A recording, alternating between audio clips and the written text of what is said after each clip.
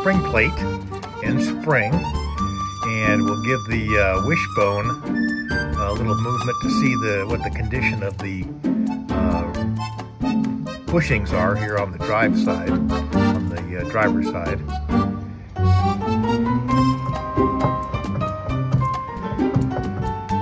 And as we can see,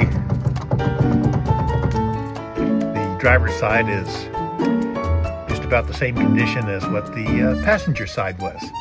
So we'll be removing the, uh, the wishbone and uh, replacing all the bushings.